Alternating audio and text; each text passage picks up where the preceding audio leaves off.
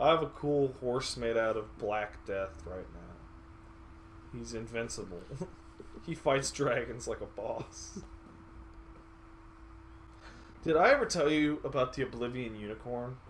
Nothing compares to a quiet evening alone. Just.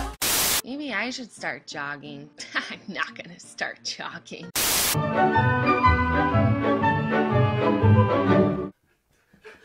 Someone remove